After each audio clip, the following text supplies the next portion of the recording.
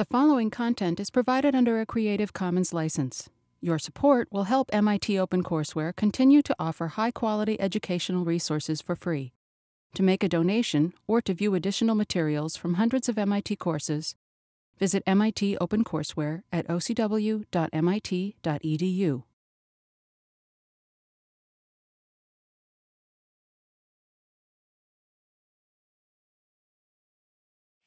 So today, we're going to move on to a fairly different world than the world we've been living in.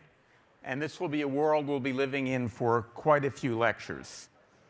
But before I do that, I want to get back to just finish up something that Professor Grimson started.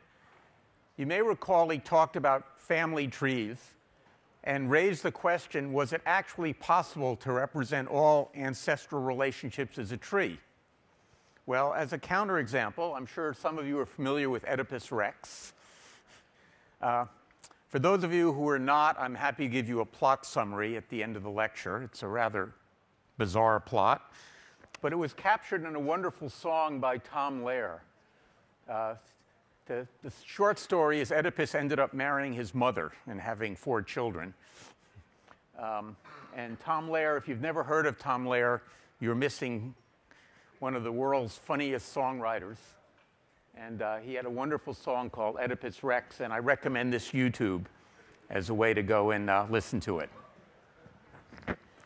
And uh, you can gather from uh, the quote what the story is about. I also recommend the play, by the way. It, it's really uh, kind of appalling what goes on, but it's beautiful. All right, back to the main topic. Here's the, uh, the relevant reading. Uh, a small bit from, from later in the book and then chapter 14. You may notice that we're not actually going through the book in order. And the reason we're not doing that is because we're trying to get you information you need in time to do problem sets. All right. So the topic of today is really uncertainty and the fact that the world is really annoyingly hard to understand. Um, this is signpost related to 6002, but we won't go into too much detail about it. Um, we'd rather things were certain, but in fact, they usually are not. And this is a place where 6 uh, 0002 diverges from the typical introductory computer science course, which focuses on things that are functional. Given an input, you always get the same output. It's predictable. And we like to do that because that's easier to teach. But in fact, for reasons we'll be talking about, it's not nearly as useful if you're trying to actually write computations that help you understand the world you have to face uncertainty head on.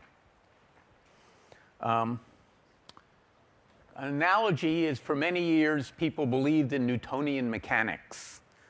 Um, I guess they still do in, in 801, maybe, that uh, every effect has a cause. An apple falls from the tree because of gravity, and you know where it's going to land, and the world can be understood causally.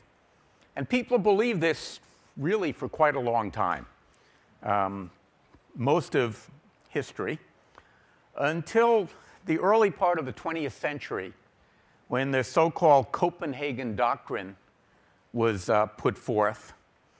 Um, the doctrine there from Bohr and Heisenberg, two very famous physicists, was one of what they called causal non determinism. And their assertion was that the world at its very most fundamental level, uh, behaves in a way that you cannot predict. It's okay to make a statement that X is highly likely to occur, almost certain to occur. But for no case can you make the statement X will occur. Nothing has a probability of one. Um, this was hard for us to imagine today when we all know quantum mechanics, but at the turn of the century, this was a shocking statement. And two other very well known physics, physicists, Albert Einstein and Schrodinger, basically said, no, this is wrong. Bohr, Heisenberg you guys are idiots. It's just not true. They probably didn't call them idiots. And this is most exemplified by Einstein's famous quote that God does not play dice, uh, which is indicative of the fact that this was actually a discussion that permeated not just the world of physics, but society in general. People really turned it into literally a religious issue, as did Einstein. Well, so now we should ask the question does it really matter? And to illustrate that, I need two coins. I forgot to bring any coins with me. Does anyone got a coin they can lend me? All right. Now, this is where I see how much the students trust me. Do I get a penny? Do I get a silver dollar? All right, so what have we got here? All right. This is someone who's entrusting me with two quarters. Not so bad. Um, so we'll take these two quarters and we'll shake them up and we'll put them down on the table. Um, and now we'll ask a question Do we have two heads, two tails, or one head and one tail? So, who thinks we have two heads? Who thinks we have two tails? Who thinks we have one of each?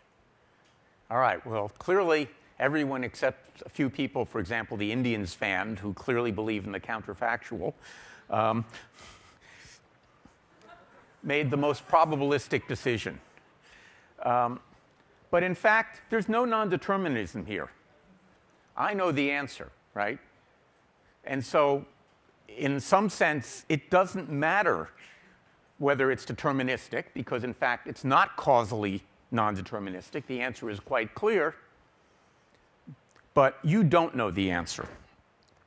And so, whether or not the world is inherently unpredictable, the fact that we never have complete knowledge of the world suggests that we might as well treat it as inherently unpredictable. Okay, and so this is called predictive non-determinism. And this really is what's going to underline pretty much everything else we're going to be doing here. All right. No comments about that? All right. I wouldn't do that to you. Thank you. I know you were wishing to get interest on the money, but you don't get any.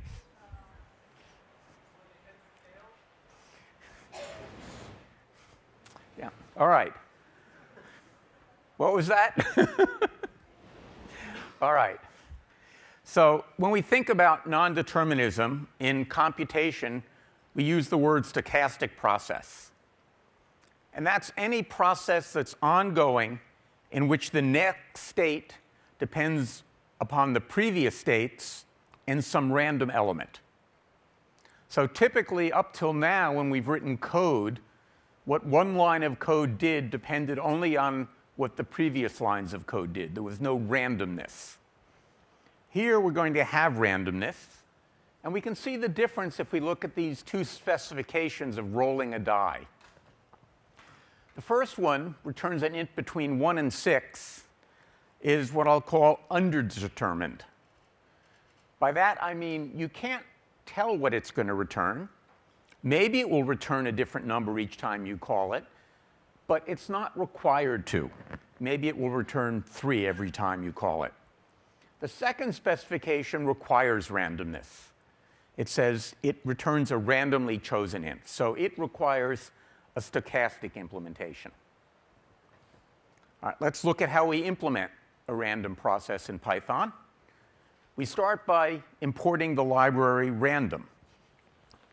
Um, this is not to say you can import any random library you want. It's to say you import the library called random. Let me get my pen out of here. And we'll use that a lot. And then we're going to use the function in random called random.choice. It takes as an argument a sequence, in this case a list, and randomly chooses one member of the list. And it chooses it uniformly. It's a uniform distribution. And what that means is that it's equally probable that it will choose any number in that list each time you call it. We'll later look at distributions that are not uniform, not equally probable, where things are weighted. But here it's quite simple, it's just uniform. And then we can test it using a test roll, take some number of n, and uh, rolls the die that many times and creates a string telling us what we got. So let's consider running this on, say, test roll of 5. And we'll ask the question, if we run it, how probable is it that it's going to return a string of five ones?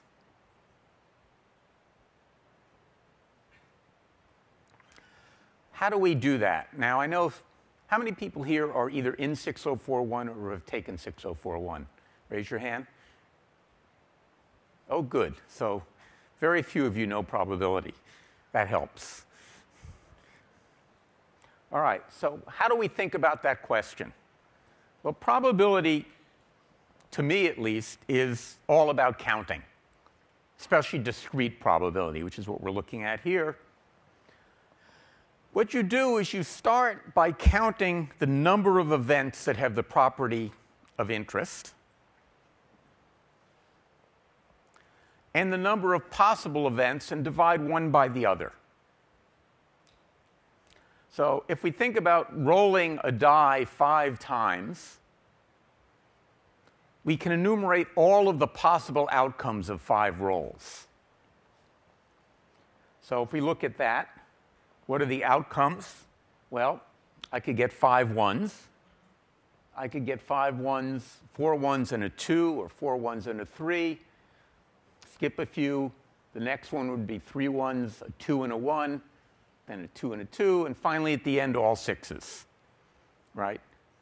So remember we looked before at, when we were looking at optimization problems about binary numbers, and we said we could look at all the possible choices of items in the knapsack by a vector of zeros and ones. We said how many possible choices are, are there? Well, that depended on how many binary numbers you could get in that number of digits. Well, here we're doing the same thing, but instead of base 2, it's base 6. And so the number of possible outcomes of five rolls is quite high. How many of those are five ones? Only one of them, right? So in order to get the probability of five ones, I divide 1 by 6 to the fifth. Does that make sense to everybody? So, in fact, we see it's highly unlikely. Probability of five runs is quite small. Now, suppose we were to ask about the probability of something else. Instead of five ones, say five, three, four, two, one kind of looks more likely than that than five ones in a row, but of course it isn't, right? Any specific combination is equally probable, and there are a lot of them. So this is all the probability we're going to think about, we could think about this way, as simply a matter of counting. The number of possible events, the number of events that have the property of interest, in this case being all ones, and then simple division. Given that framework, there are three basic facts about probability we're going to be using a lot of. So, one, probabilities always range from zero to one. How do we know that? Well, we've got a fraction, right? And we, the denominator is all possible events. The numerator is the subset of that that's of interest. So it has to range from zero to the denominator, and that tells us that the fraction has to range from zero to one. So one says it's always going to happen, zero never. So if the probability of an event occurring is p, what's the probability of it not occurring? This follows from the first bullet. it's simply going to be 1 minus p. This is a trick that we'll find we use a lot because it's often the case when you want to compute the probability of something happening, it's easier to compute the probability of it not happening and subtract it from 1. And we'll see an example of that later today. Now, here's the biggie. When events are independent of each other, the probability of all of the events occurring is equal to the product of the probabilities of each of the events occurring. So if the probability of A is 0.5 and the probability of B is 0.4, the probability of A and B is what?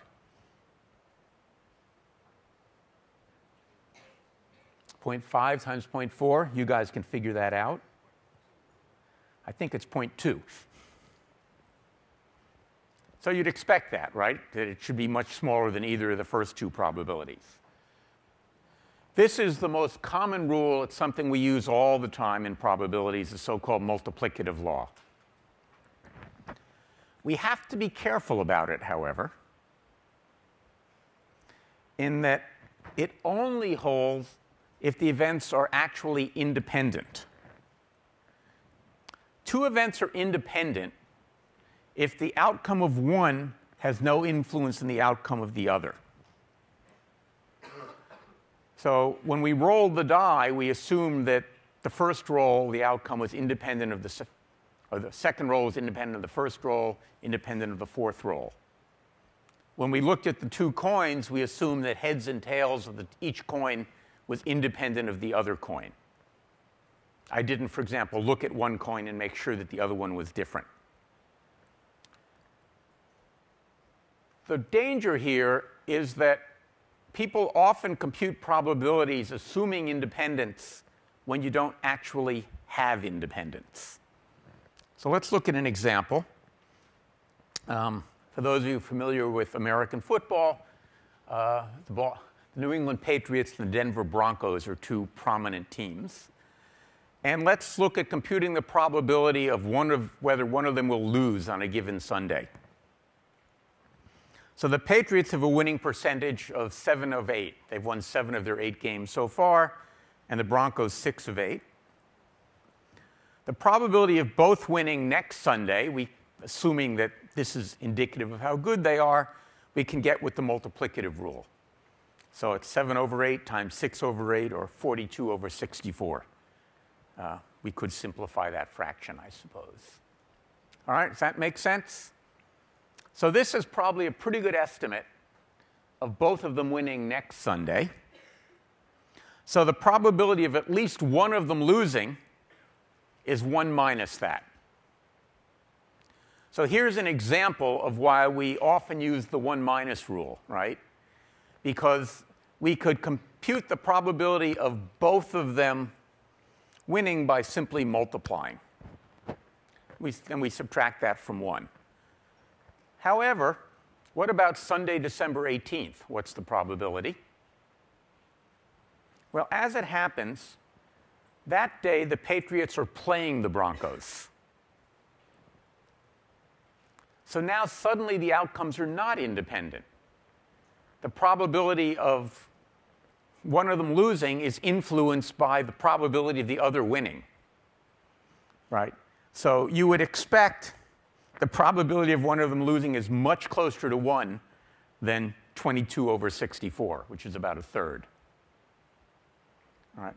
So in this case, it's easy, but as we'll see as we get through the term, there are lots of cases where you have to work pretty hard to understand whether or not two events really are independent.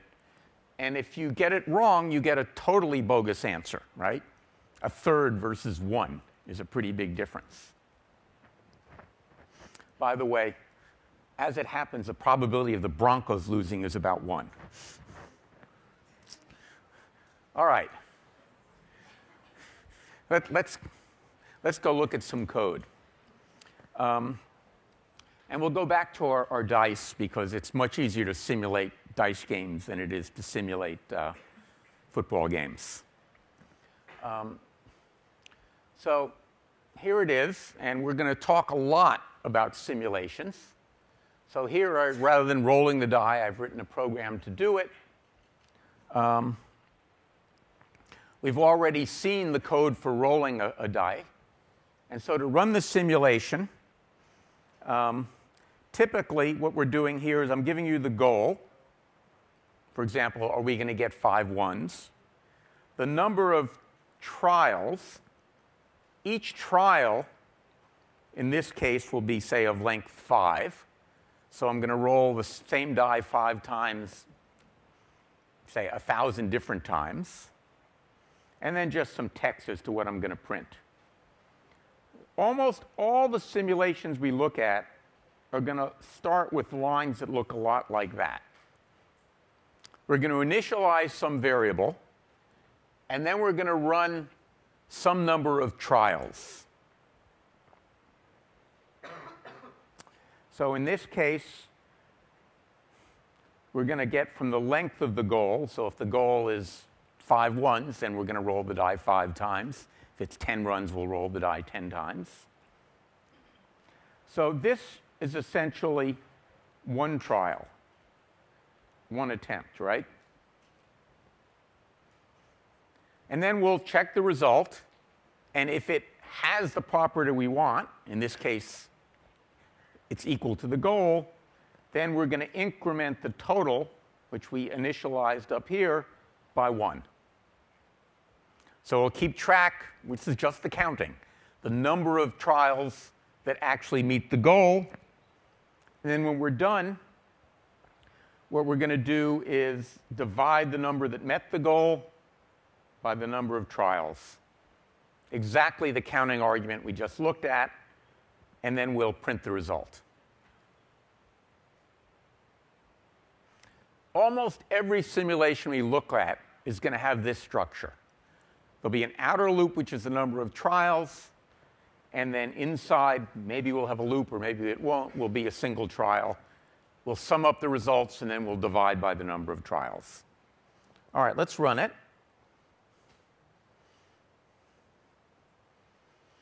All right. So a couple of things are going to go on here. If you look at the code,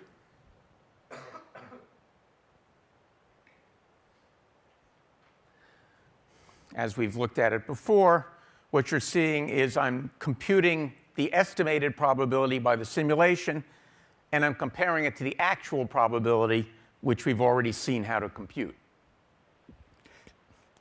So if you look at it, there are a couple of things to look at. Uh, the estimated probability is pretty close to the actual probability, but not the same. Let's go back to the PowerPoint.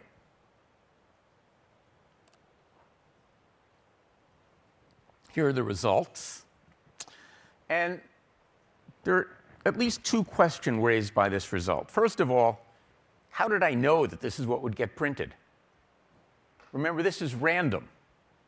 How did I know that the estimate, well, there's nothing random about the actual probability, but how did I know that the estimated probability would be zero? And why did it print it twice? Because I messed up the PowerPoint. Any rate. So how do I know what would get printed? Well, a confession. Random dot choice is not actually random. In fact, nothing we can do in a computer is actually random. You can prove that it's impossible to build a computer that actually generates truly random numbers. What they do instead is generate numbers that are called pseudo random.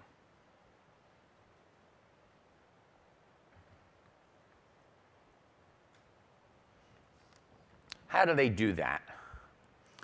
They have an algorithm that, given one number, generates the next number in a sequence. And they start that algorithm with a seed. Now, typically, they get that seed by reading the clock of the computer. So, most computers have a clock that, say, keeps track of the number of microseconds since January 1st, 1978. I don't know if that's still true. That's what Unix used to do. Um, so, the notion is you start your program, there's no way of knowing how many microseconds have elapsed. And so you're getting a random number to start the process. Since you don't know where it starts, you don't know what the second number is, you don't know what the third number is, you don't know what the fourth number is.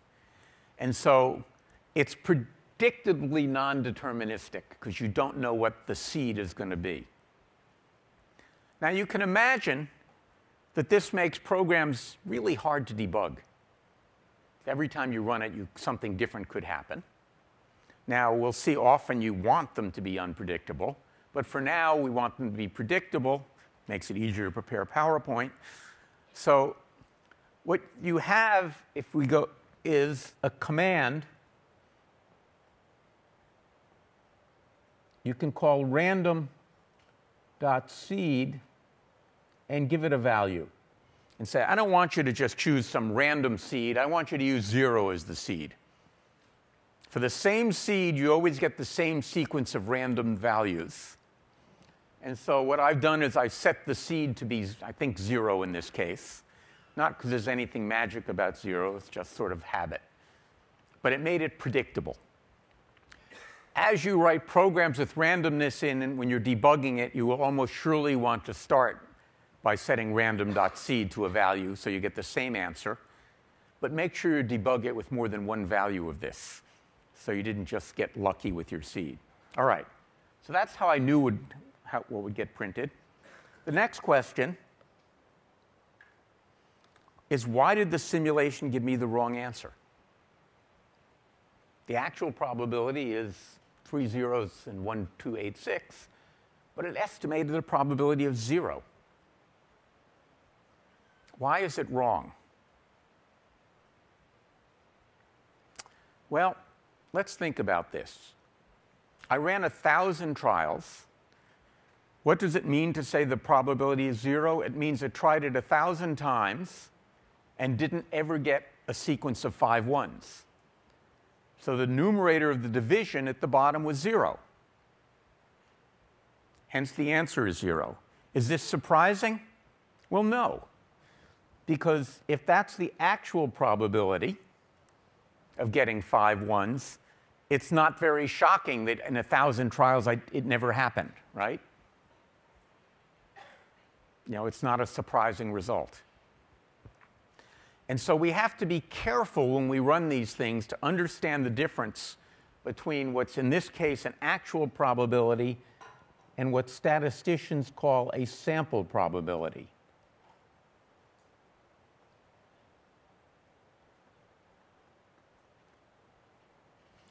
So what we got with the sample was zero.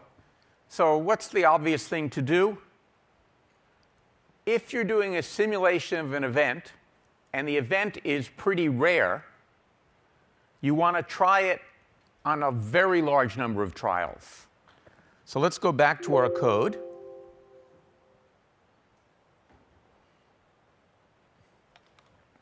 And we'll change it to instead of a thousand, a million.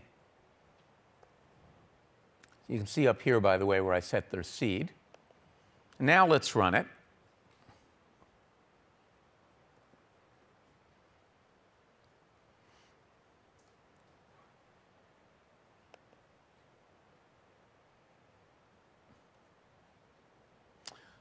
We did a lot better.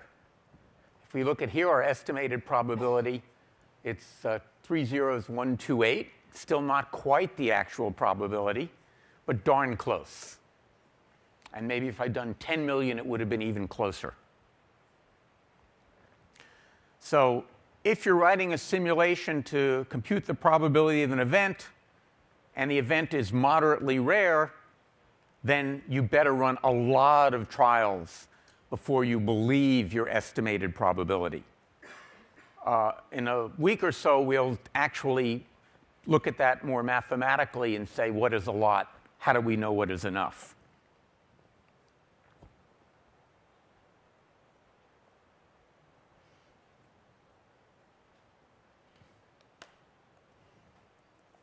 All right.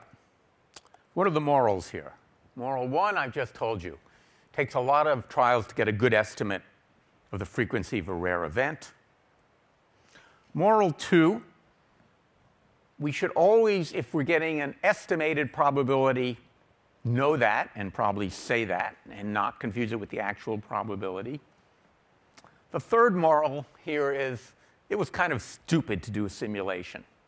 Since there was a very simple closed form answer that we could compute that would really tell us what the actual probability is, why even bother with the simulation? Well, we're going to see why now, because simulations can be very useful. Let's look at another problem. Um, this is the famous birthday problem. Some of you have seen it. Uh, what's the probability of at least two people in a group having the same birthday?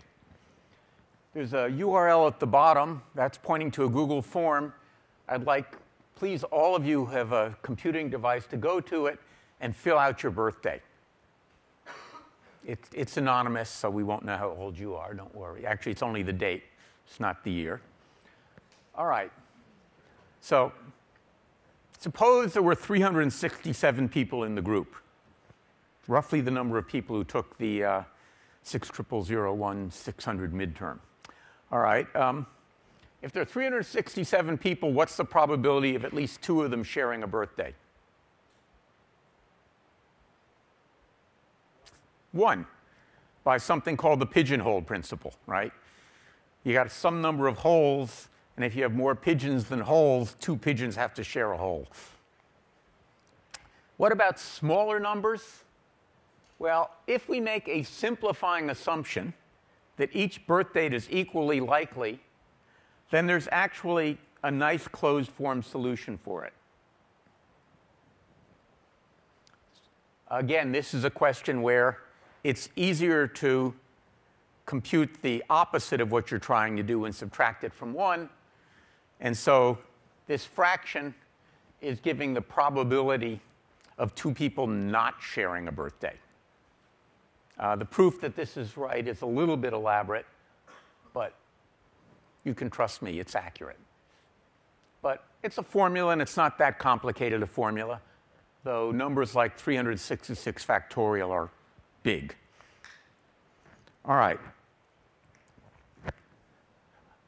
So let's approximate a solution. We'll write a simulation and see if we get the same answer that that formula gave us. So here's the code for that. Uh, two arguments, the number of people in the group and the number that we asking do they have the same birthday. So since I'm assuming for now that every birthday is equally likely, the possible dates range from 1 to 366 because some years have a February 29th. I'll keep track of the number of people born in each date by starting with none. And then for p in the range of number of people, I'll make a random choice of the possible dates and increment that element of the list by one.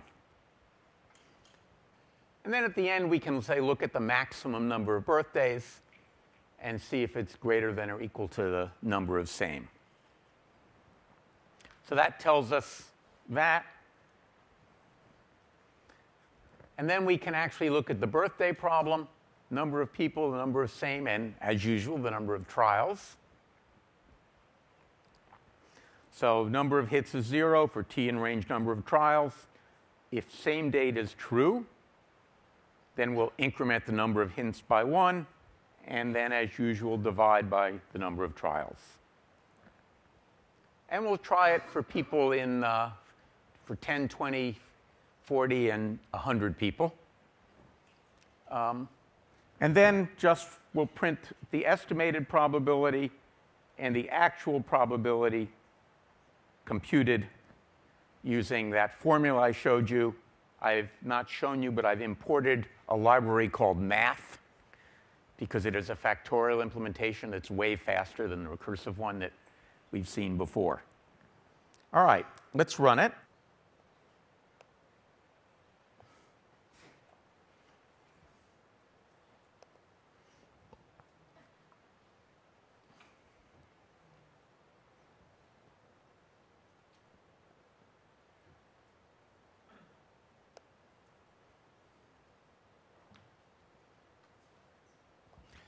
And we'll see what we get. So for 10, the estimated probability is 0.11. Now, so as you can see, the estimates are really uh, pretty good. Once again, we have this business that for 100, we're estimating 1, when the real answer is point many, many, many nines. But again, this is sample probability. Just means in the number of trials we did, um, every one for 100 people, there was a shared birthday. This is a number that usually surprises people as to why, with 100 people, the probability is so high. But we could work out the formula and see it. And as you can see, the estimates are pretty good from my simulation.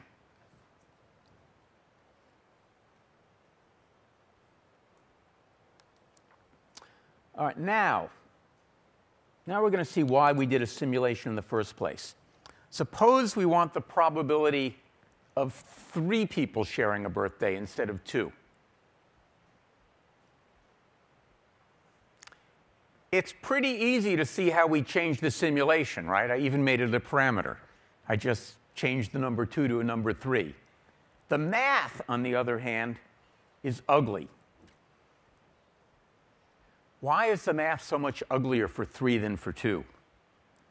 Because for 2, the complementary problem, the number we're subtracting from 1, is simply the question of are all birthdays different?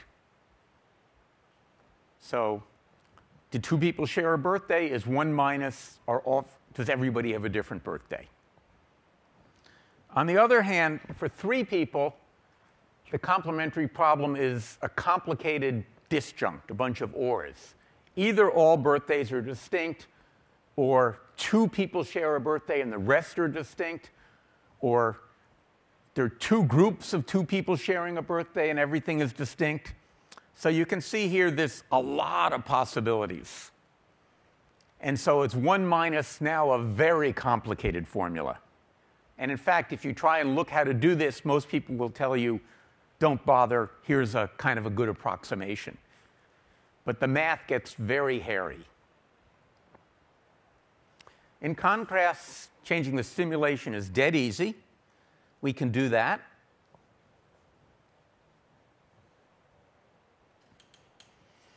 Whoops. So if we come over here for the code, all I have to do is change this 2 to a 3.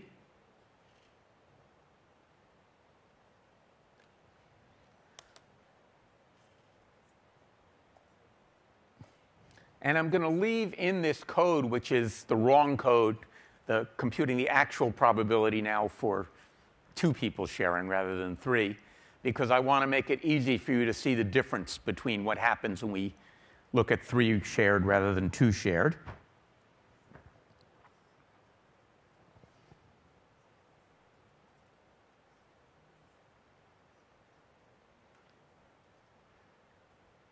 And I get invalid syntax.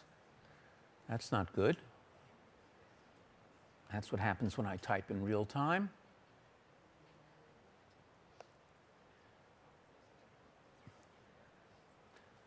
Why do I have invalid syntax?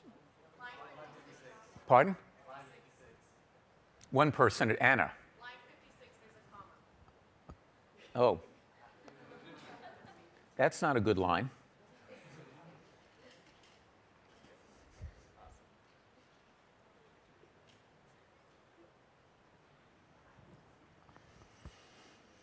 So now we see that if we get, say, to n equals 100, um, for 2, you'll remember it was 0.99, but for 3, it's only 0.63. So we see going from 2 sharing to 3 sharing gets us a radically different answer. Not surprisingly, um, but we also, and the real thing I wanted you to see is how easy it was to answer this question with the simulation. And that's a primary reason we use simulations to get probabilistic questions rather than sitting down and the pencil and paper and doing fancy probability calculations because it's often way easier to do a simulation. We can see that in spades if we look at the next question. let's think about this assumption that all birthdays are equally likely. Well, as you can see, this is a chart of how common birth dates are in the US, a heat map. And you'll see, for example, that February 29th is a quite an uncommon birthday.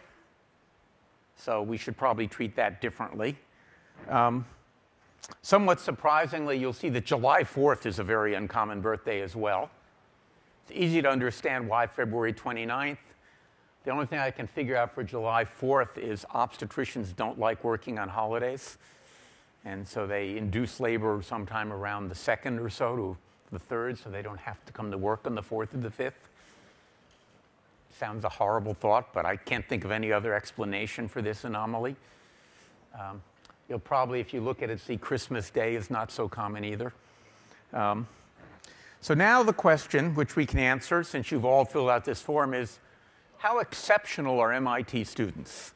We like to think that you're different in every respect. So are your birthdays distributed differently than other dates? Um, have we got that data? All right, so now we'll go look at that. We should have a heat map for you guys. I, this one.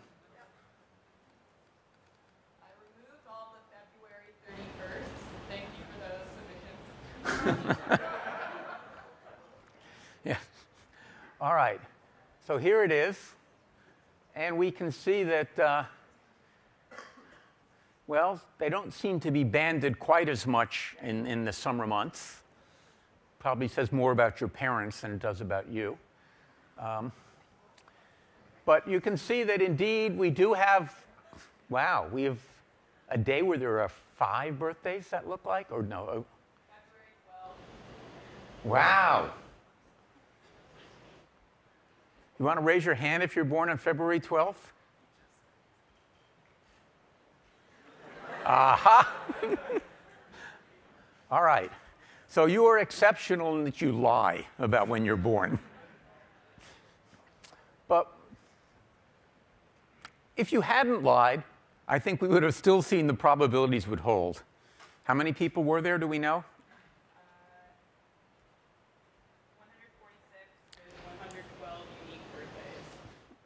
146 people, 112 unique birthdays. So indeed, the probability does work.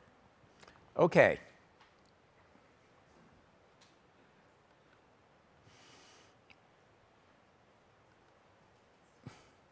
So we know you're exceptional in a funny way. Well, you can imagine how hard it would be to adjust the analytic model to account for a weird distribution of birth dates. Uh, but again, adjusting the simulation model is easy. Um, I could have gone back to that heat map I showed you of birthdays in the US and gotten a separate probability for each day, but I was too lazy. And instead, what I observed was that we had this a few days, like February 29th, highly unlikely, and this band in the middle of people who were conceived in the late fall and early winter. So, what I did is I duplicated some dates. So, the 58th day of the year, February 29th, occurs only once. The dates before that, I said, let's make, pretend they occur four times. What only matters here is not how often they occur, but the relative frequency. Um, and then the uh, dates after that uh, occur four times, except for the dates in that band, which is going to have occur yet more often. So now, and don't worry about the exact details here, but what I'm doing is simply adjusting the simulation to change the probability of each date getting chosen by same date. And then I can run the simulation model. And again, with a very small change to code, I've modeled something that's mathematically enormously complex. I have no idea to actually do this probability mathematically. But the code is, as you can see, quite straightforward.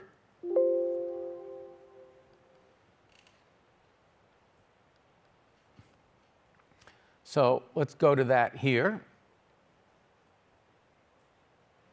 So what I'm going to do is comment this one out and uncomment this more complicated set of dates.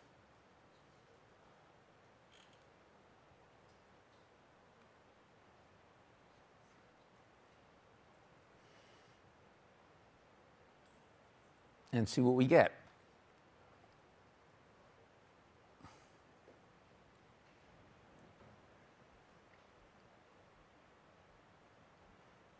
And again, it changes quite dramatically. You might remember before it was around, I think, 0.6 something for 100, and now it's 0.75.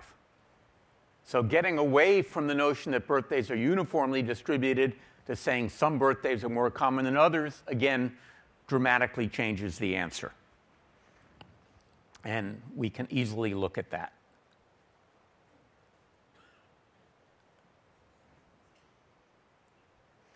So, that gets us to the big topic of simulation models. It's a program that describes a computation that provides information about the possible behaviors of a system. I say possible behaviors because I'm particularly interested in stochastic systems.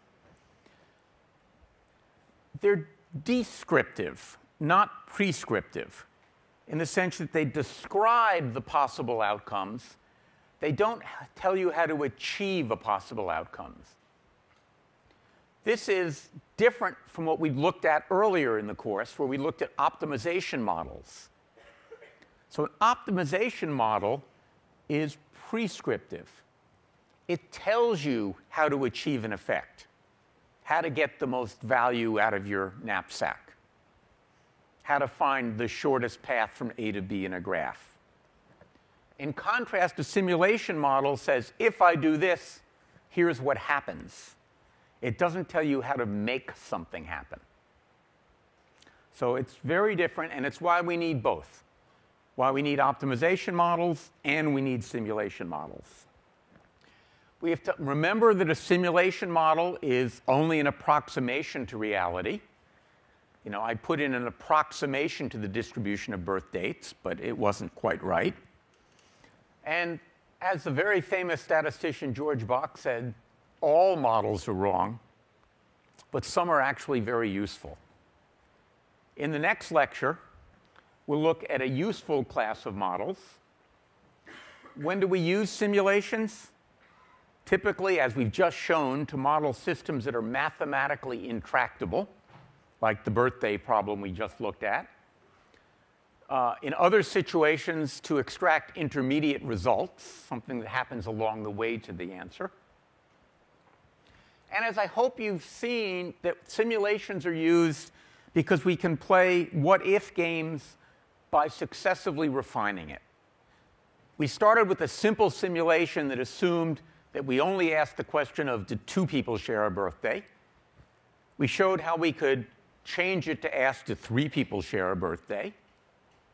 We then saw that we could change it to assume a different distribution of birth dates in, in the group.